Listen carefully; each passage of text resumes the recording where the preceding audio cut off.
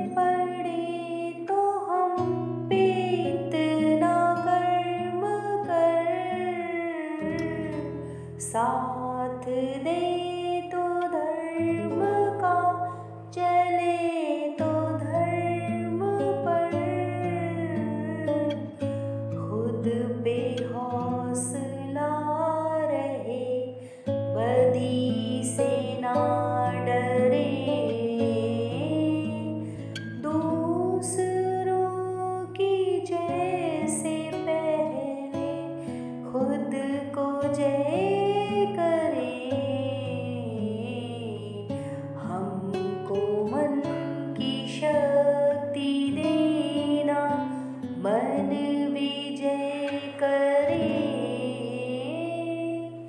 दूसरों की जैसे पहले खुद को जय करे। हमको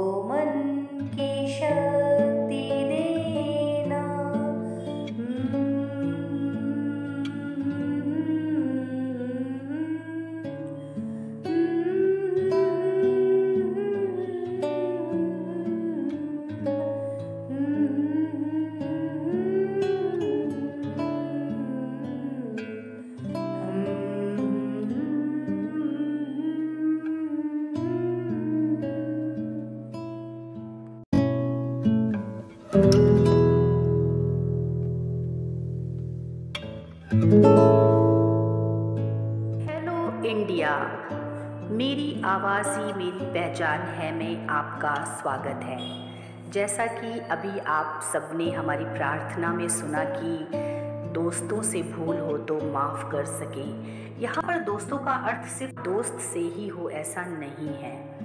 मतलब वो कोई भी हो सकता है लाइक कोई अपना या कोई पराया या कोई दुश्मन भी, क्योंकि गलतियाँ सिर्फ़ दोस्त से नहीं होती, वो तो किसी से भी हो सकती हैं। अपनों से हो सकती हैं और परायों से भी हो सकती हैं, किसी से भी हो सकती हैं।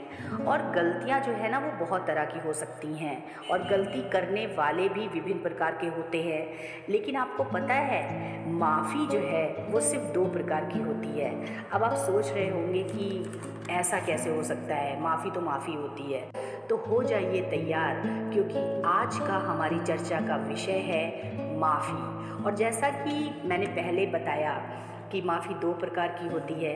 एक तो होता है कि हम किसी को माफ़ कर देते हैं मतलब है भी दूसरा होता है दिल से माफ़ करना। इसलिए अब आप समझ गए होंगे कि एक्चुअली माफ़ी दो प्रकार की होती है।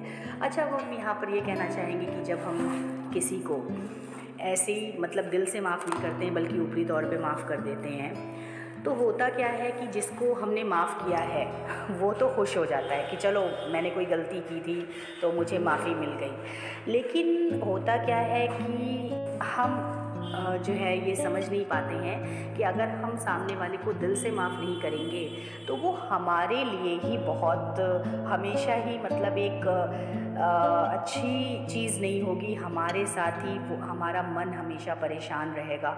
अगर हम उससे कभी मिलते हैं तो हम अपसेट रहेंगे अंदर ही अंदर और ऊपर से मतलब ऐसे दिखाएँगे या कि उसे ऐसा ना लगे कि हमने उसे माफ़ नहीं किया है। दूसरा ये है कि हम ये चीज़ नहीं समझ पाते हैं कि अगर हम किसी को दिल से माफ़ नहीं करते हैं तो हम अपना खुद का भी नुकसान करते हैं साथ में। वो ऐसे कि हम मतलब अगर किसी चीज़ को मन में रखे रहेंगे बुरी भावना के साथ और खुद अपसेट होते रहेंगे तो वो एक चीज़ है जो निगेटिविटी चीज़, जैसी चीज़ है जो मतलब कि हमारे आसपास हमेशा रहेगी उसके प्रति। और वो चीज़ें जो है ना वो सही नहीं होती हैं। वो खुद के लिए भी सही नहीं होती हैं। कभी आपका मूड अच्छा नहीं होने देगी। आपको कभी उतना इंजॉय नहीं करने देंगी लाइफ में कि आ, मतलब अगर किसी से भी आप अंदर अंदर नाराज़ हैं और आप ऊपर से मतलब खुश दिख रहे हैं तो वो चीज़ खुद आपको ही परेशान करेगी और वो आपके लिए ही ज़्यादा परेशानी का कारण बनेगी जो कि आपको ऐसा नहीं करना है। आपको अगर किसी को माफ़ करना है तो आप दिल से माफ़ करिए, ताकि आप भी हैप्पी रहिए और जिसको आपने माफ़ किया है वो भी हैप्पी रहे। तो हमें अपने आप को खुश करने के लिए जो है, हमेशा ये सोचना चाहिए कि हमें ठीक है, अगर हम दे रहे हैं माफ़ी तो हम दिल से माफ़ी दें, ताकि हम खुद भी खुश रहें और सामने वाला भी खुश रहे। तो ये चीज़ है। तो अभी हम मतलब यही चीज़ कहना चाहेंगे कि काफ़ी चीज़ें ऐसी हमारी लाइफ में होती हैं, जिसको हम समझ नहीं पाते और हम खुद अपने अंदर चिड़चिड़े से हो जाते हैं और बहुत ही अपसेट से रहते हैं। और मतलब जो जितना इन्जॉय हमको करना चाहिए कि कोई भी ओकेजन है या फेस्टिवल है, कुछ भी है तो हम उतना इन्जॉय नहीं कर पाते हैं।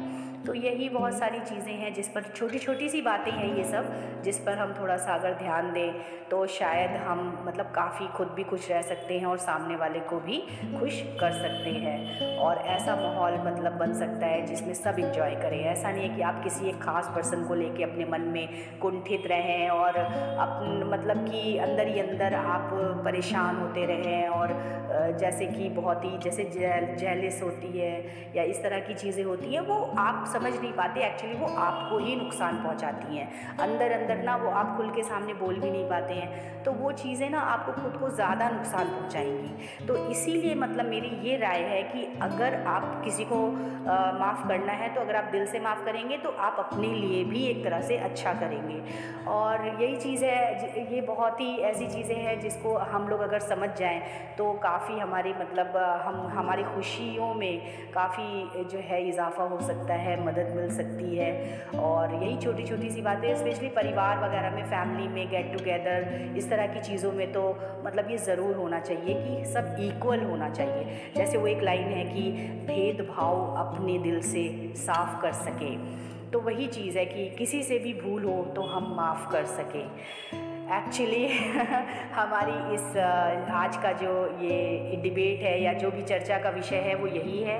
तो आई होप कि आप लोग थोड़ा अंडरस्टैंड करेंगे इस बात से और जब भी किसी को माफ़ करेंगे तो आप दिल से माफ़ करेंगे ताकि सामने वाला तो खुश हो ही जाए और वो दोबारा वो गलती भी ना करे, ये भी एक्सपेक्टेशन होती है।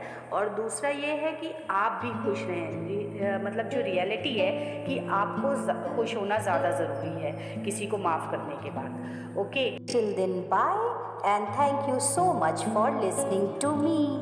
Bye bye.